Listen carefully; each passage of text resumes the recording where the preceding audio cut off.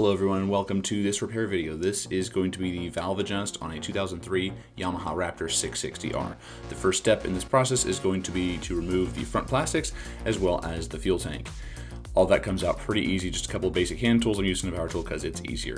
Then we're going to remove this intake valve access cover here on the back. There's four bolts to take out. I'm using a 5mm RBRT hex bit to remove these bolts. They're not crazy tight, but I like the RBRT because it guarantees that you're not gonna round one of these bolts out. So four bolts come out and then this cover comes loose. Sometimes you're gonna need a little screwdriver to pop the side of the cover up. Once that cover comes out, be sure you pull this rubber gasket here and don't lose that. The next step is going to be to remove these two covers using a flathead screwdriver. You're going to fit a 19 millimeter socket into the hex in the big hole, and then you're gonna line up the timing mark in the small hole. The timing mark is a straight line that lines up with this groove in the threads and that time mark. So just turn it until it lines up. Always turn the motor counterclockwise only. Once you're lined up, top dead center on compression stroke, take a 45 degree feeler gauge like this one and slip it in between the top of the valve and the end of that rocker arm. If it doesn't fit, you're gonna need to adjust it. To adjust it, simply take a 10 millimeter wrench, loosen the adjusting nut at the top.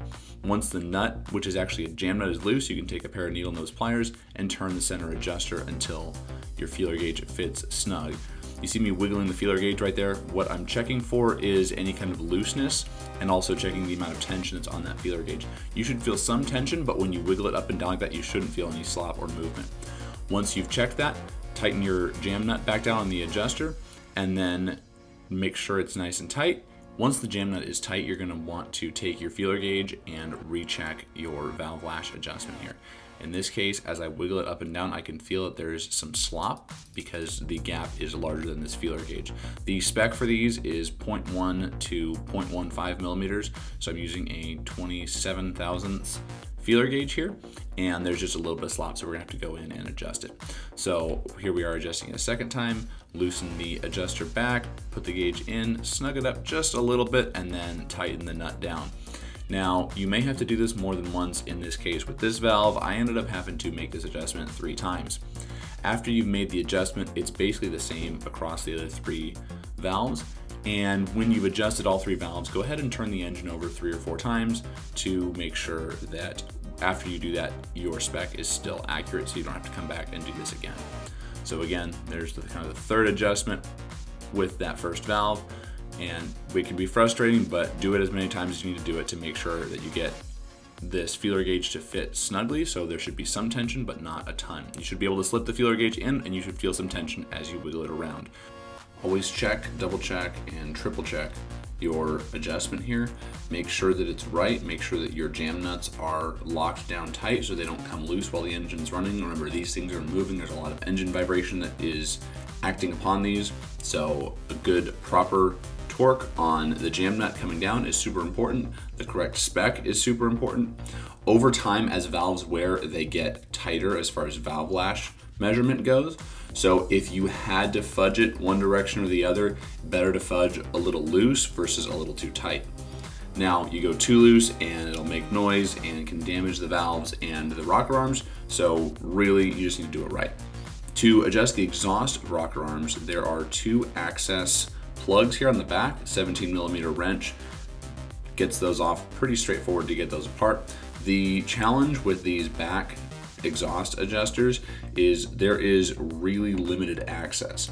So you can get these plugs out no problem, but then you've just got this little hole to work with to try to squeeze in and make your adjustments.